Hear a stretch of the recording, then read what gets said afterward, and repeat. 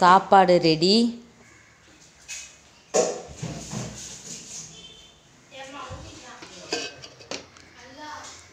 அரைக்கீரோட தண்டு உருளைக்கிழங்கு பொரியல்